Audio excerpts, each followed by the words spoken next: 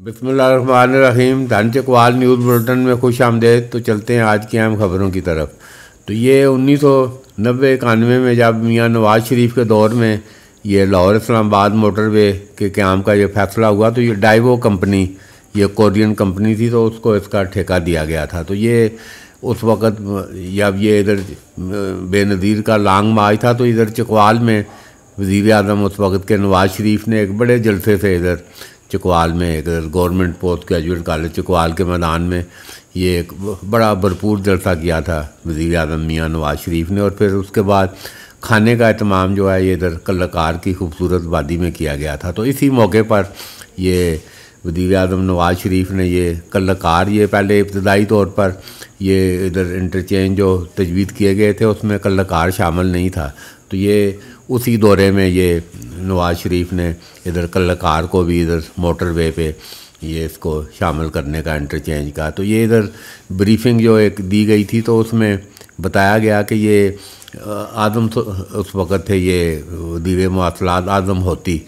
तो ये उन्होंने इधर चार्ट पे ये रेस्ट हाउस है कल्लकार का तो उसमें ब्रीफिंग देते हुए बताया था कि ये इलाका जियो लिंदी क्राउन है। ये कल्लकार और ये इधर तो ये हम आपको ये सुम्बल गाँव है ये देखें, ये मोटरवे के आप इधर जब साठ रेंज में दाखिल हो, इधर कल्लकार की तरफ़ से तो ये स्टार्ट में ये सुम्बल गाँव आपको इधर चकवाल थे इधर कल्लकार से लाहौर की तरफ़ जाते हुए दाएँ तरफ़, ये खूबसूरत पहाड़ों के ऊपर ये सुम्बल गाँव आपको ये हम दिखा रहे हैं। तो ये मोटरवे के ऊपर ये ये दाखिली करूली है, इसके आगे फिर करूली पीना ये जो एक, ये भी रूहानी बस्ती है।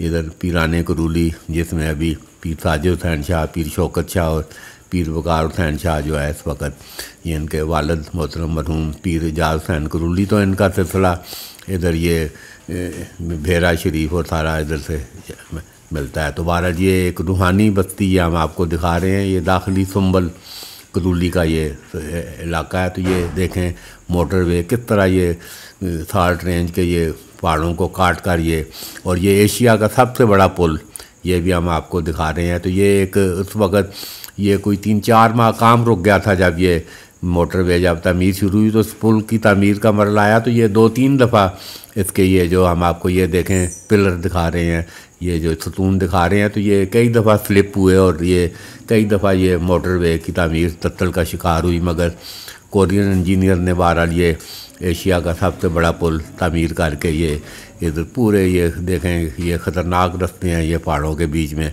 तो ये एक राह जो है, ये मोटरवे के लिए ये पहाड़ काट कर तो ये हम आपको मनाजर दिखा रहे हैं। ये दाखिली करूली है और ये सुम्बल गाँव है, ये छोटा सा गाँव है ये। दो तीन हज़ार अफराद की आबादी का तो ये देखें किस तरह ये खूबसूरत, ये सारे कदीमा की जन्नत है, ये पहाड़ों की साख्त आप देखें।